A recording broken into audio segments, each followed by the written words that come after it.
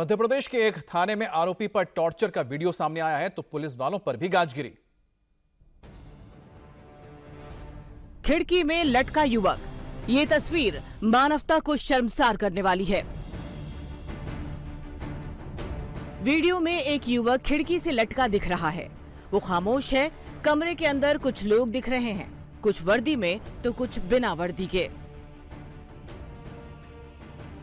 बताया जा रहा है कि युवक को नशीला पदार्थ बेचने के आरोप में यहाँ लाया गया था।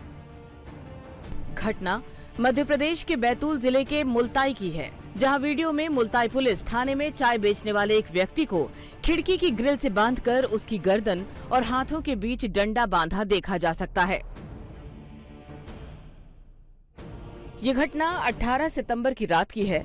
वीडियो वायरल होने के बाद पीड़ित युवक ने शुक्रवार को बैतूल एसपी से शिकायत की। इसके बाद एसपी निश्चल झारिया ने शनिवार को एसआई सुनील सरेयाम को मारपीट के आरोप में सस्पेंड कर दिया। समझा रहे एक मिनट समझ नहीं रहा।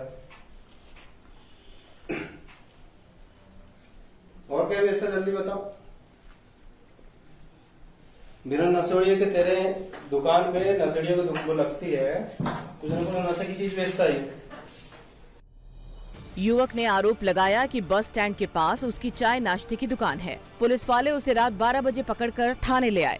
इसके बाद दोनों हाथों को खिड़की पर रस्सी से बांधकर लटका दिया गया और नशीले पदार्थ बेचने का आरोप लगाते हुए मारपीट की गई। हालाँकि अब वीडियो वायरल होने के बाद आरोपी पुलिस वाले पर एक्शन हो गया है।